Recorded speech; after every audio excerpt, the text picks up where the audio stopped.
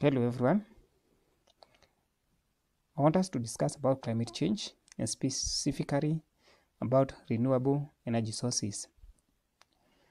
Renewable energy refers to clean energy from natural sources and that cannot be depleted even upon usage. There are several sources of renewable energy that are available and some of these sources of renewable energy include solar energy. This type of energy is tapped and harnessed from the sun, whereby the radiations or the heat radiations of the sun through technology are converted to electricity. We have wind energy, turbines that are in form of blades are used to tap wind and that is converted from just being kinetic energy to electricity. We have biogas. This type of energy is made through organic digester or biodigester that break down organic waste like food remains and animal waste is turned into energy. The other source is hydropower energy, whereby fast running or falling water is used to turn and to rotate water turbines so as to produce electricity and also to power machines. We have geothermal energy. This is transforming the heat from the earth and it is harnessed in form of either dry steam or flash steam to generate electricity.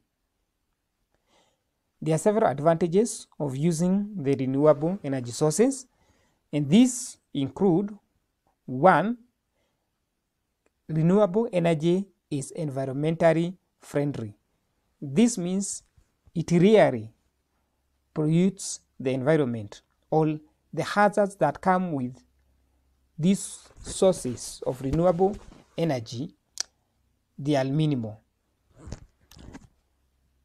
The second one, they are inexhaustible because we use the natural sources. Also, renewable energy increases public health. This is because they pollute less the environment and thus they are less hazardous to the health of human beings. The other thing is they create lots of job in our society and also biogas help in waste management.